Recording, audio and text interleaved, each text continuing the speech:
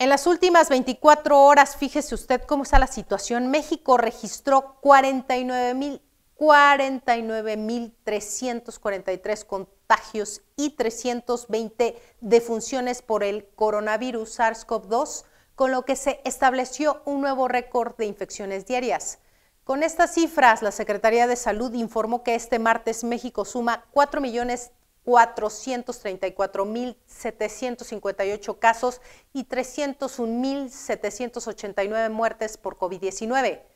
Los más de 49.000 casos reportados representan la cifra más alta de contagios de la pandemia. Los pasados miércoles, jueves, viernes y sábado se reportaron 44.187, 43.000 523, 44.293 y 47.113 casos respectivamente.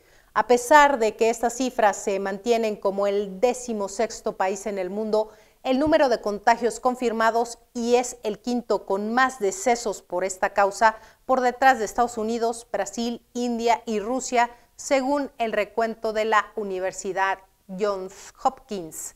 Las autoridades sanitarias reconocen que con base en las actas de defunción, el país puede rozar los 451 mil fallecimientos y estiman que México acumula en realidad 4.682.257 contagios.